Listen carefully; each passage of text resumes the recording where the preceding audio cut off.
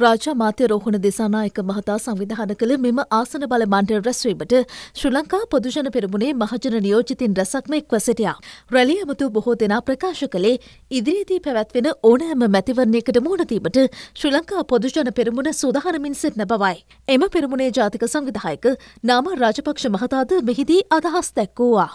ජනාධිපති අපේක්ෂකයෝ ඉන්න රාශියක් ඉන්න. දැන් අපි දැක්කා අපේ විපක්ෂ නායක සජිත් ප්‍රේමදාස මහත්තයා නැවත ඉස්කෝලේ යනවා. එයාගේ අතේ නැත්තේ චෝක් කෑල්ලයි බේබැලයි විතරයි. සක්වල වැඩසටහනේ සූරු පන්ති කාමර විපක්ෂ නායකතුමා අරින තරමට හොඳයි. මම නම් කියන හැම ඉස්කෝලේකම දවස ගානේ මෙයා ගිහිල්ලා ඒන් එකක් අරින්න ඕන. මොකද ඒ එකක් ඇරිය ගමන් පන්ති කාමරේ ළමයි 30 ඉන්නේ මෙයා කඩාගන්න චන්ද සංඛ්‍යාව 300යි. ආයේ අඩුවක් නෑ. ඒ හින්දා තන්දයක් එනකන් මම නම් කියන්නේ මාතලෙත් පුළුවන් නම් මේ පැත්තෙත් ගෙනල්ලා ඔය පන්ති කාමරයක් දෙකක් ඇරියොත් හොඳයි. ඒ තරමටපත් වෙලා තියෙනවා. අපි එළඹෙන ඕනෑම මැතිවරණයක එක ජනාධිපතිවරණයද එක මහා මැතිවරණයද පළාත් සභා මැතිවරණයද පළාත් පාලන මැතිවරණයද ඒ ඕනෑම මැතිවරණයකට මුහුණ දෙන්න රත්තර ජනතාව සූදානම් ඒ මැතිවරණය ජයග්‍රහණය කරන්න රත්තර ජනතාව සූදානම් හෙට මේ රට විනාශ කරන්න පුළුවන් හෙට අලුත් දිසානතයකට යන්න පුළුවන් කණ්ඩායම ඉන්නේ ශ්‍රී ලංකා පුදුතල පෙරමුණේ කියන එක අපි තමුන්නාසලට මතක් කරන්න මිත්‍රවරුනි මම අනුරෝධ සනායකලට කියන්න ඕනේ සජබේ නායකවන්ට අපි කියන්න ඕනේ මෙතන එකෙනෙක්වත් වෙනත් දිස්ත්‍රික්කයකින් ආපු එකම කෙනෙක්වත් නෑ මේ ඔක්කොම ඉන්නේ රත්වල ආසනේ ජනතාව කියන එක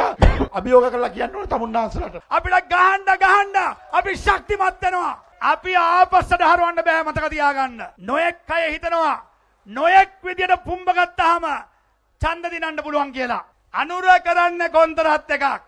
අනුර ඩීල් කාරයා. අනුර හැමදාම වැඩ කරුවේ සල්ලි වලට. කැට හොල්ලපු මිනිස්සුන්ට කොහෙන්ද මෙච්චර සල්ලි? දැන් කැට හොල්ලනවද?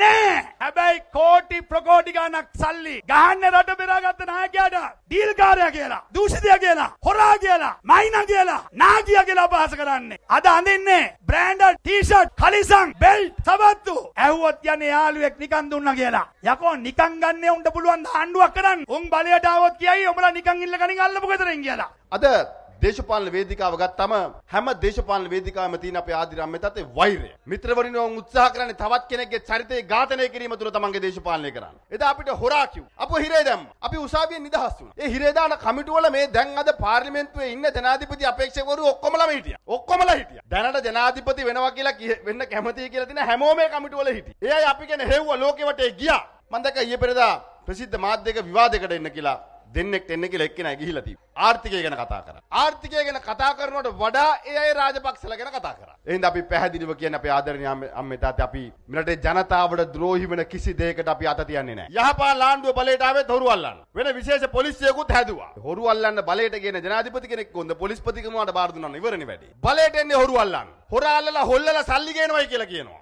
එහින්ද මගේ ආදරේ අම්මේ තාත්තේ මම වගකීමකින් කියනවා. ඔවුන් සූදානම් වෙන්නේ ඊළඟ අවුරුදු 30ට අර අවුරුදු 30ක් යුද්ධේ වවන් කාපු අවුරුදු 30ක් යුද්ධය සහ සාමය පිළිබඳව විකුණගෙන දේශපාලන බලය ලබාගත්තු දේශපාලන පක්ෂ වගේම ඊළඟ අවුරුදු 30ට හොරු අල්ලනවයි කියන න්‍යායෙන් තමන්ගේ දේශපාලනය කරන්න.